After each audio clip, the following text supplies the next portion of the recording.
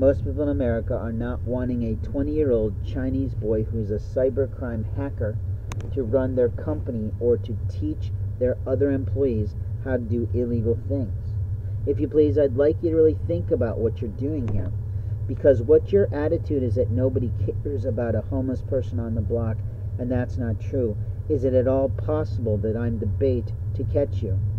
And when I'm the bait to catch you, it doesn't matter what you do to me is not true. What it means is that the police officers allowing it, along with the employees avowing it, and the people pissing all over me from the Catholic Church with their lies, are going to jail.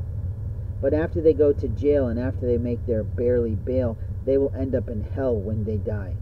So I want you to really look at your life to see what you're doing. Because while you think there's no afterlife, what is there is? And if there's an afterlife, what do you think Jesus is going to say to you? Oh, welcome to heaven. You sexually assaulted someone who had no rights to say no because you did it while they were sleeping? You little fucking coward. I had that child in my hands, and you destroyed that child with your lies. That you thought I don't know his soul. That you thought you had rights to fuck his body. That you thought you had rights to resize anything he owns. And you fucking thought you had the right to ruin his intestines. You lied, little Muslim. You are burning in hell from this day forward.